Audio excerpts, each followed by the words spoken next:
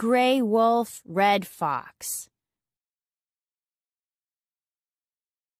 Did you ever see a photograph of a Did you ever see a photograph of a gray wolf or a red fox? Don't they look a lot like dogs? Aren't they fantastic looking animals? Well, dogs, foxes, and wolves are all related. They are all members of the same family. And while gray wolves and red foxes may look alike, they are different in many ways. Looks are everything. The gray wolf is the largest member or a part of the wild dog family. An adult wolf is the size of a large dog. The red fox is smaller and weighs less.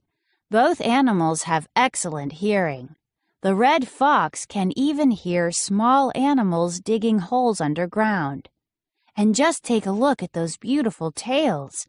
The gray wolf and red fox both have long, bushy tails. The wolf's tail can be two feet long. The fox's tail is not as long but has a bright white tip. In the winter, Foxes use their thick, furry tails as protection from the cold. The gray wolf and red fox are both mammals. Foxes and wolves Foxes and wolves also have thick fur. Their coats can be white, brown, or black. However, red foxes most often have red fur, while a gray wolf's fur is usually more gray and brown. Finding food. Gray wolves and red foxes live in many different habitats.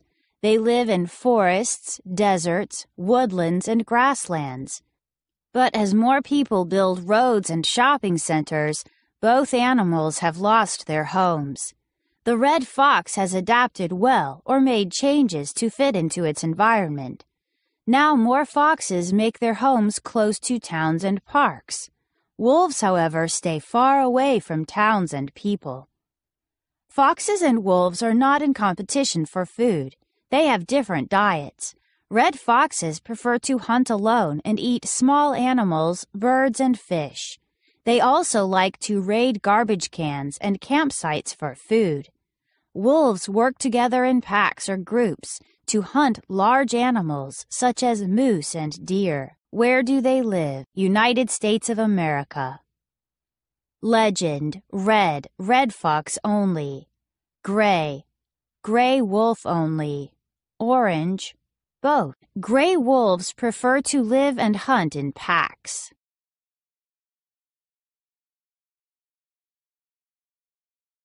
Day to day. Wolves live in packs of four to seven. They do almost everything together. They hunt, travel, and choose safe places to set up dens for shelter. Foxes, on the other hand, like to live alone. They usually sleep in the open or find an empty rabbit hole to call home. Both wolves and foxes communicate by barking and growling. The gray wolf also howls to alert or warn other wolves when there is danger nearby. The red fox signals in a different way. It waves its tail in the air to caution other foxes. The gray wolf and red fox are members of the same family and have many things in common, but they really are two very different animals. The red fox hunts for food alone.